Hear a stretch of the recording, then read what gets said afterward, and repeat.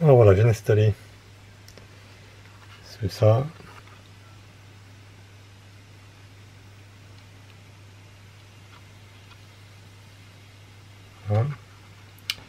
Donc le capteur ici est branché là.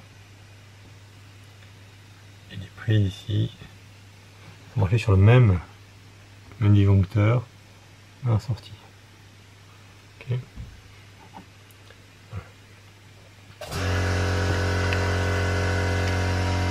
Je vois ici que je suis en train de produire 650 watts instantané.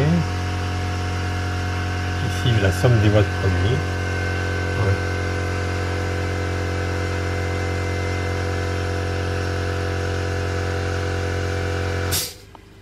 Je vais maintenant le fixer avec du scotch double face sur le mur ici pour l'avoir propre. Donc là voilà, j'ai fixé du scotch double face à l'arrière pour le fixer sur le mur.